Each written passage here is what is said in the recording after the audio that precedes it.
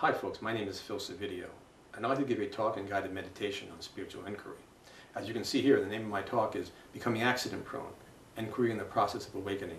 The session will be in three parts, and because inquiry is considered an advanced practice by some, part one will be on the spiritual process, the what and where of suffering, and how the release of subtle knots prepares one for inquiry. Part two is an in-depth talk on inquiry based on my own personal experience, and an overview of inquiry from three traditions, Hinduism, Buddhism, and Sufism. I'll discuss what inquiry is, what it isn't, and how it can help unravel the fundamental knot of I, making one more accident prone. Part three is a guided meditation, beginning with a relaxation exercise.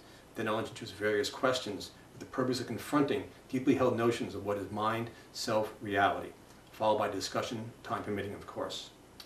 That's it, and thank you for consideration.